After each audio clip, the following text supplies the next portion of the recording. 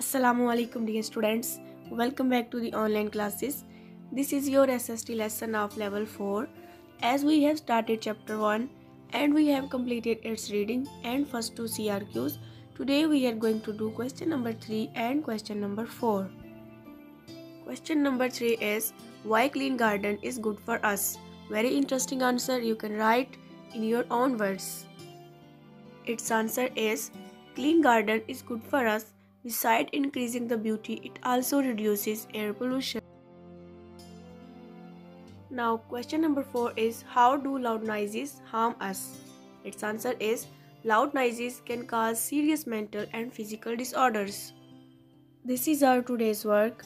Now, watch the diary, write these CRQs in notebook neatly and learn them by heart. And also send the pictures to your class teacher. Stay blessed. Allah Hafiz.